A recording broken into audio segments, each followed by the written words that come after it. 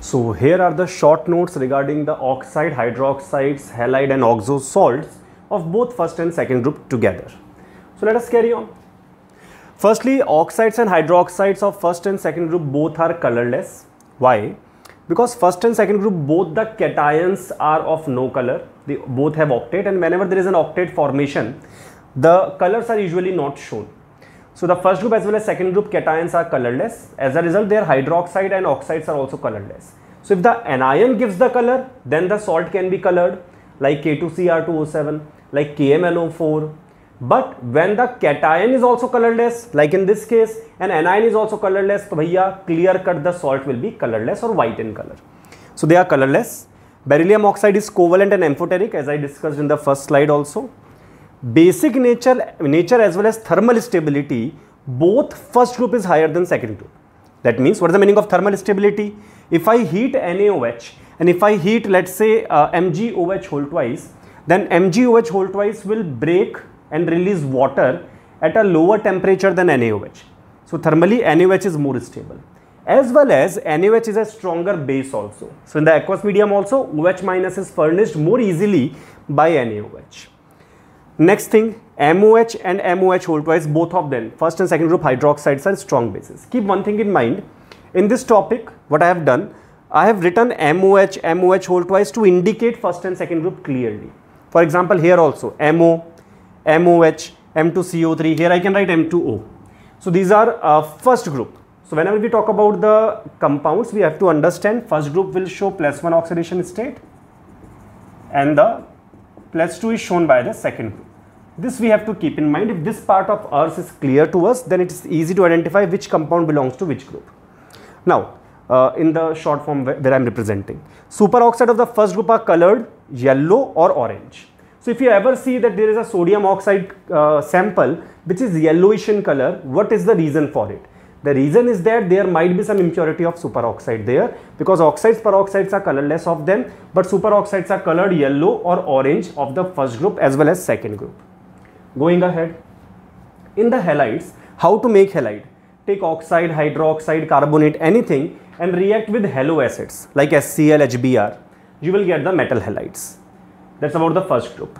For metal halide, let us see what are the things we have to discuss. But before going ahead, one small thing here if the stability is more, it means enthalpy of formation is more negative. So if I say top to bottom stability increase, that means enthalpy of formation becomes more negative top to bottom. If I say top to bottom stability decrease, that means enthalpy of formation becomes less negative top to bottom. Chaliye, so carry on. LiF to CSF stability. Now here F minus is very, is the smallest anion in the world. He is the smallest anion we have got. So small person is stable with a small person. So LIF is more stable, CSF is less stable. So stability decreases. Whereas for LiCl, LiBr, LiI, top to bottom if we go, stability will increase. Why? Because Cl minus, Br minus, I minus remaining halides are big enough. They are more stable with the larger cation that is cesium plus. So for the larger anion, top to bottom stability increases. For the smaller anion, salts top to bottom stability decreases. Next, one general trend is there, two, three paragraphs, it was written separately, I have compiled it for you, that MF more than MCl more than MBr more than MI, that means LIF more than LICl more than LIBr is the order of melting point, boiling point stability all. That means LIF is more than LICl, CSF is also more than CSCl. So understand this violation will not happen at all. These two are two very, very different things. So make sure that you remember them separately as well. LIF, CSI both are insoluble in water. Whenever we talk about the solubility in water, तो भैया देखो solubility depends upon solubility is dependent upon hydration enthalpy and lattice enthalpy. Solubility is always directly proportional to hydration enthalpy and inversely proportional to lattice enthalpy. So LIF only two factors are there. So LIF, CSI both are insoluble. Why?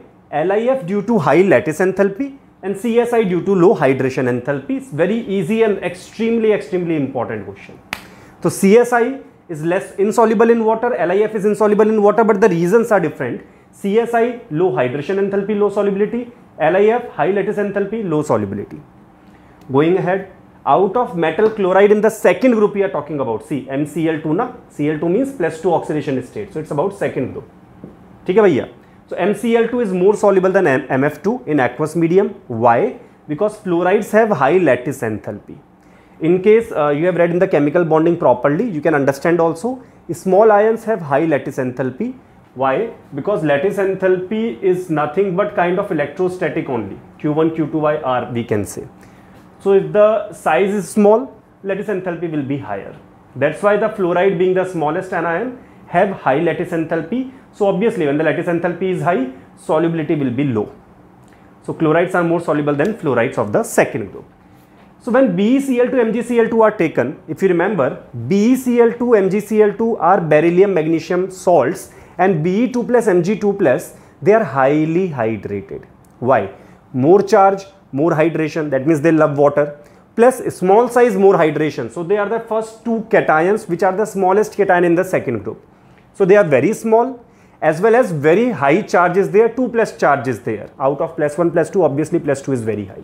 So they love water. So whenever their hydrated salt is heated, magnesium and beryllium chloride hydrated, hydrated salts are heated, water will not go out completely. They love water. So what will happen? The water tries to go out. They catch the water back and ask, Bhaiya chlorine, you go. We hate you. We love water. And they form their hydroxides. And this reaction is called hydrolysis. So beryllium and magnesium hydrated halides on heating do not get dehydrated they get hydrolyse going ahead talking about oxo salt let us say carbonate sulphate nitrate we are discussing so first group carbonate are thermally stable that means in the first group sodium to caesium carbonate on heating will not break whereas second group carbonate as well as lithium diagonal relationship you can understand now lithium is not behaving like sodium potassium rubidium caesium He is behaving like second group. On heating, they form oxide and CO2. So CaCO3 on heating forms CaO plus CO2. In the same way, Li2CO3 on heating also form Li2O plus CO2. But first group carbonate, remaining sodium to cesium, they do not break on heating, they are thermally stable. Going ahead, beryllium carbonate is so unstable, so unstable that they have to stored with CO2 to prevent the decomposition. That means BeCO3 want to make CO2. So you give a lot of CO2 so that the reaction goes backward and BeCO3 does not break. Magnesium nitrate to barium nitrate as we go from top to bottom we can understand hydration enthalpy decreases as a result, the water of hydration decreases such that magnesium nitrate is hexahydrate just like magnesium chloride was octahydrate. Similarly, barium nitrate is anhydrous. This came in the JEE main also in 2019. Very important question that barium nitrate is anhydrous. Now, top to bottom hydration enthalpy decrease. That's why. Metal nitrate on heating, you can see MnO3 whole twice. That is second group we are talking about. And as I said, second group, lithium will also come there. Why? he is not in second group but he has diagonal relationship with second group so he behaves like second group in the chemical reactions so uh, second group nitrate and lithium nitrate both on heating release a brown color paramagnetic gas which is NO2 NO2 is brown color paramagnetic gas and O2 is a colorless paramagnetic gas. So these two gases are released. This is brown color paramagnetic. This is colorless paramagnetic. Whereas remaining sodium to cesium all nitrates. Only sodium example I am giving but sodium to cesium all nitrate will show this reaction that they will not release NO2 brown color gas. So if I take a metal nitrate on heating brown color gas comes out that means it is not sodium to cesium nitrate as per the NCERT. Now what happens? NaNO3 on heating form NaNO2 plus O2. One more anomalous behavior of lithium all the hydrogen carbonate of the first group are solid in nature but LiHCO3 is not solid. Why? See, more covalent compounds are mostly liquid or gases. More the covalent nature. Covalent nature means it's obviously weaker than ionic. The interaction is weaker than ionic. So remaining all the sod uh, sodium, potassium, rubidium, cesium bicarbonates are ionic in nature. They have strong interionic force of attraction. They are solids. Lithium bicarbonate is mostly covalent in nature, so they are, it is not obtained in the solid state. All the sulfates are white in color, uh, not much important question and they are thermally stable. But the most important question out of all of this I feel is this one that bhaiya beryllium and magnesium sulfates are soluble. Why? Because their hydration enthalpy is more than lattice enthalpy. Whenever hydration enthalpy is more than lattice enthalpy, it will be soluble. Beryllium and magnesium sulfates are soluble in water. Remaining all the sulfate of the second group are insoluble. They are precipitates. Why? Because hydration enthalpy is more than lattice enthalpy for only these two. Sir, how can this relation be explained? Simple. Solubility is directly proportional to hydration and inversely to uh, lattice enthalpy. So if the hydration enthalpy is more, obviously the solubility will be favored. So this was all about in very nutshell all the salts and oxo uh, oxides and hydroxides and halides of the first and second group. Have a look at it, try to remember it, pause and note. So now let us talk about the compounds of the first group starting from Na2CO3. Na2CO3.10H2O is washing, washing soda and anhydrous Na2CO3 is called soda ash. So remember these two names are different. Entering into Solvay's process, uh, one very simple story you can remember because chemistry is all about stories. So if you can remember the story, you will be able to remember the whole Solvay's process. So there is a kingdom. In the kingdom, we have Narendra Bahubali, Mahendra Bahubali and Kalendra Bahubali. Okay? So uh, we want Narendra Bahubali to become the king and the crown is named as carbonate, CO3 2 minus. We want CO3 2 minus has to go with Narendra Bahubali finally. But the politics we have to play very well. So we have to use your brain properly, use chemistry in the right place and get the answer correctly. So let us say Shivgami Devi called Katappa. Who's our Katappa? Or Katappa in this topic is ammonia. Understand Bhaiya? More than Bahubali, Katappa was important in the whole story. So understand this idea that Katappa came. So Katappa said, uh, Devi, what can I do? So Shivgami Devi told her, told him that Katappa react with water and CO2 and form carbonate so Kattappa said ma'am there is a problem here the problem is you not thinking about it if I make a carbonate then all three people will get the carbonate and we want the carbonate to go to only N A plus Sivagami Devi says don't worry मेरा आदेश ही है शासन what happens there he Kattappa said okay Rajmata as you say he makes ammonium carbonate ammonium carbonate reacts with calcium magnesium as well as sodium he will react with N A plus also but the nice tricky part which Shivgami Devi played was this that calcium and magnesium carbonate are precipitate and sodium carbonate is soluble in water. So what happened? Sodium carbonate was formed, it remained soluble in water but CaCO3, MgCO3 was precipitated and bhaiya as a result now our calcium and magnesium ion are out of the race. But the, the problem is I want washing powder Nirma, I don't want a washing solution Nirma. What does it mean? I do not want, aqueous Na2CO3. I want hydrated salt of Na2CO3. I want in the powder form. So Shivgami Devi plays another trick. She asks, okay, some leftover ammonium carbonate is there. React with H2O and CO2 more to form ammonium carbonate. Sorry, ammonium bicarbonate. So the small trick is here. Any carbonate with H2O plus CO2 forms bicarbonate. Any carbonate with H2O and CO2 forms bicarbonate and any bicarbonate on heating gives carbonate plus H2O plus CO2. So what Shivgami Devi asked, bhaiya leftover carbonate, some carbonate will be left over of ammonium, react with more H2O and CO2 and form bicarbonate. Now what will happen to the bicarbonate? The bicarbonate reacted with the Na plus in the solution. From where the Na plus came? Some in the form of NaCl is there, some in the form of Na2CO3 is there, but Na plus is there in the solution because Ca2 plus Mg2 plus very smartly she has precipitated. Now what happens? We got NaSCO3. Now everyone is worried. Why?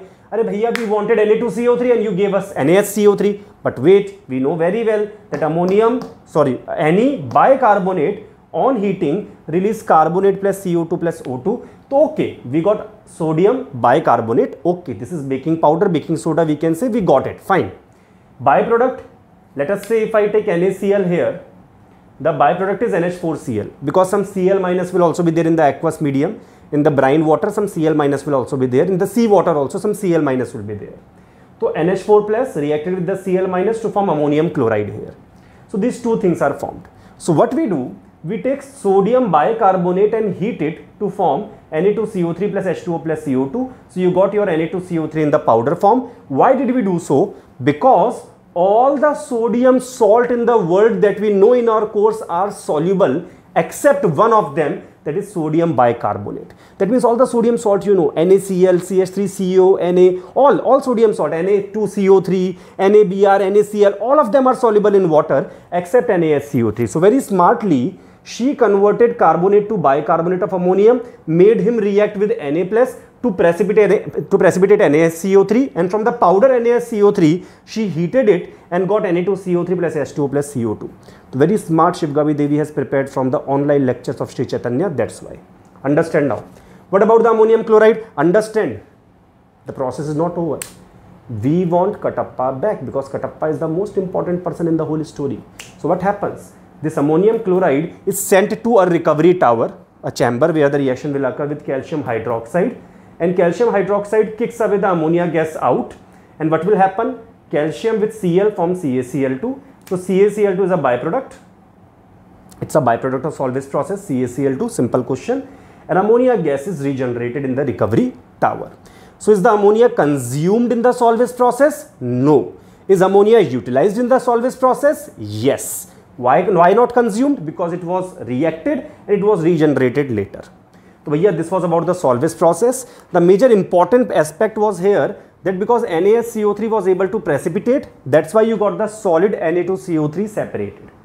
But because KHCO3 is soluble, so this kind of a process cannot be applied for uh, formation of manufacturing of K2CO3. So Solvay's process is not applicable for K2CO3. Why? Because unlike NaSCO3, KSCO3 is soluble in water. Na2CO3.10H2O washing powder heated below 100 degrees Celsius forms monohydrate of Na2CO3 and above 373 Kelvin, above 373 Kelvin, all the water uh, of hydration goes away and you get Na2CO3 which is soda ash. Next, what is crude salt? Anyway, uh, NaCl in seawater you will find in seawater by mass 2.7 to 2.9 percent are NaCl. Now, crude salt, the salt you get from the seawater majorly after uh, drying up the seawater, what we get? We get NaCl and the impurities are Na2CO4, CaSO4, CaCl2, MgCl2 out of which CaCl2, MgCl2 we very well know MgCl2.8H2O, CaCl2.6H2O, they love water.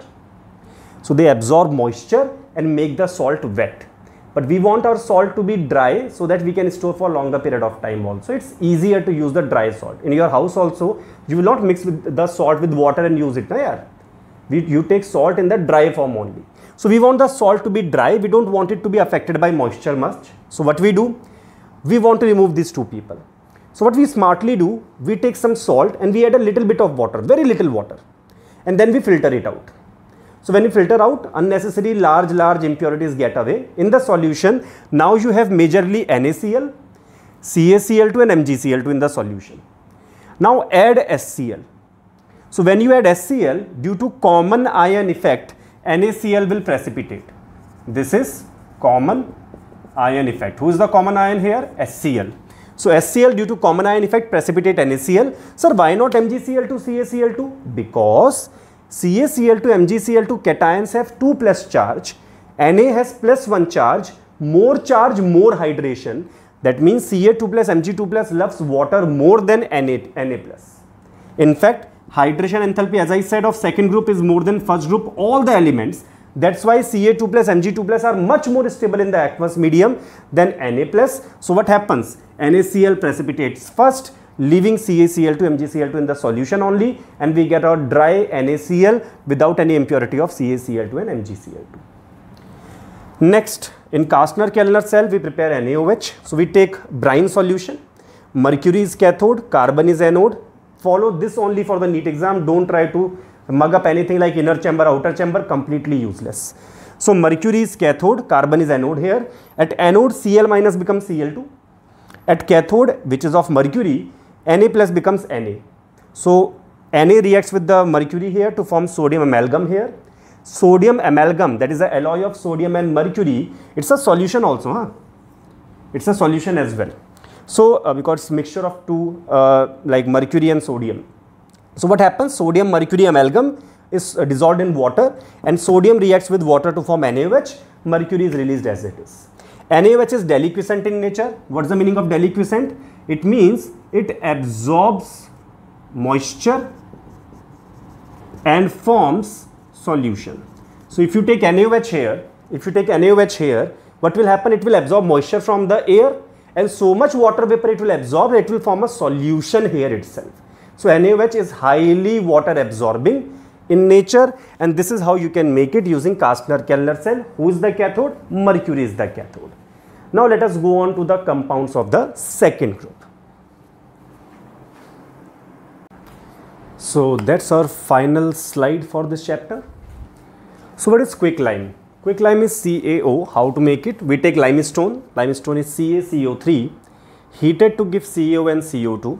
If you had limited amount of water, the process is called slaking of lime and uh, the CaO makes breaks into lumps like big chunk of CaO breaks into small small lumps like soft soft pieces and that process is called slaking of lime and the product formed is called slaked lime slaked lime what is that slaked lime? CaOH whole twice will be called that slaked lime. This thing.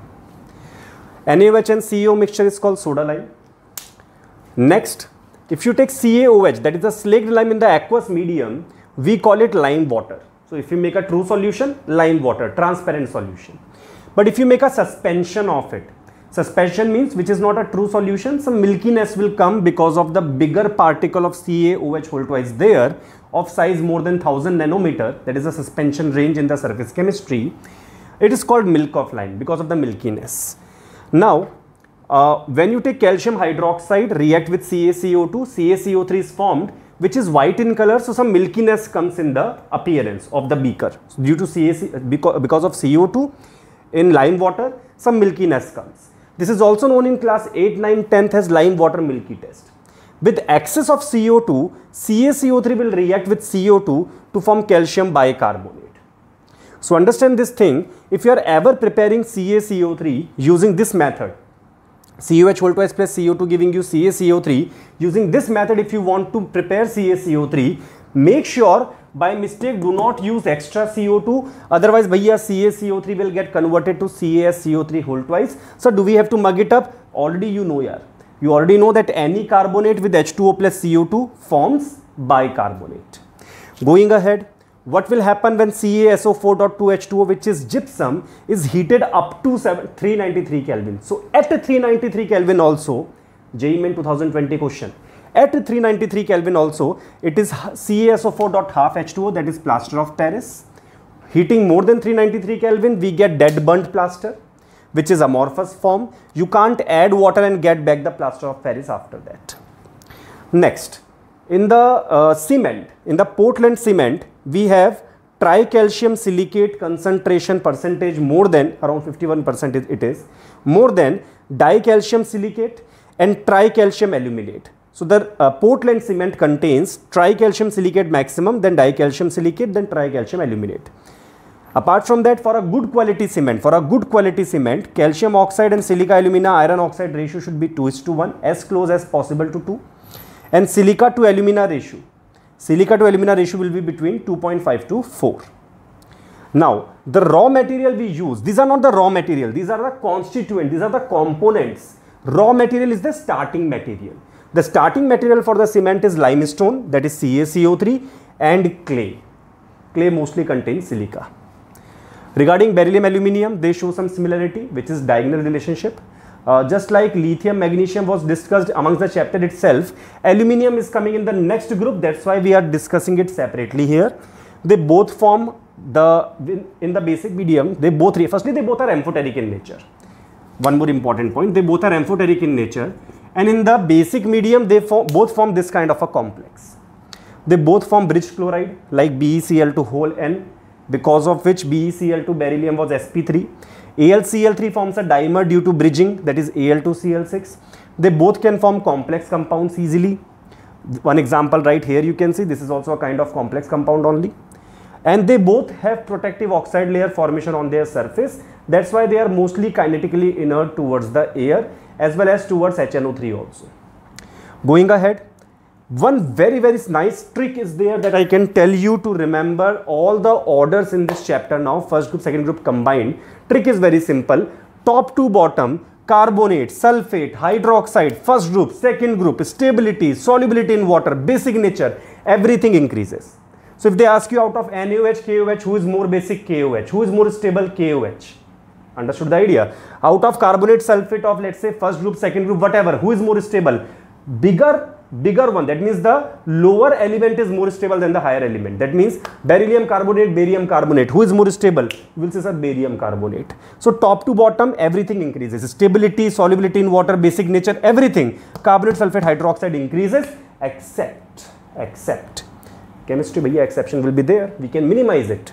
So except solubility of the second group carbonate and sulfate Everything else increases top to bottom. For carbonate, sulfate, hydroxide, everyone, basic nature, solubility in water, stability, thermal stability, everything increases except the second group carbonate and sulfate solubility, which decreases.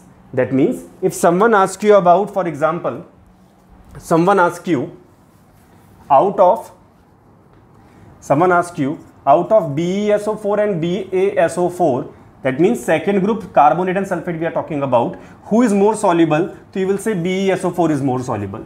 Already we have discussed also for him hydration enthalpy is more than lattice enthalpy also. They can also ask you reason. They can also ask you the reason for it. I'll tell you the trick for remembering the reason. Simple. Order we remember now. Reason dekho. Trick. How to remember the trick? If top to bottom solubility is increasing, always the reason is lattice enthalpy decreases. Sir, for this chapter or every chapter? Every chapter in whole chemistry, 110%, this is the only reason, guaranteed. No book will tell you this thing, I am telling you, guaranteed is true. So top to bottom if the solubility is increasing, always the reason is the lattice enthalpy must be decreasing from top to bottom. And if top to bottom someone asks you solubility decreasing, what is the reason? Say the reason is because of the decrease of hydration enthalpy, solubility is decreasing. So remember the trend and fit the logic. So if someone asks you top to bottom carbonate sulfate of second group, solubility decreases. Why? Sir, solubility decrease. That means for carbonate and sulfate of second group, hydration enthalpy decrease is happening from top to bottom. That is the reason. For first group, second group, uh, for first group, carbonate, sulfate and hydroxide solubility is increasing top to bottom. What is the reason? Or for the second group, hydroxide also solubility increases top to bottom. For second group, hydroxide also solubility increases top to bottom. What's the reason, sir? The reason is very simple. Top to bottom solubility increases, maybe because the lattice enthalpy is decreasing. So this trick will help you a lot. Simple thing. Firstly, the order they will ask you. Reason very rarely they ask. If they ask the reason, that's the trick. Order first group, second group, both carbonate, sulfate, hydroxide, top to bottom.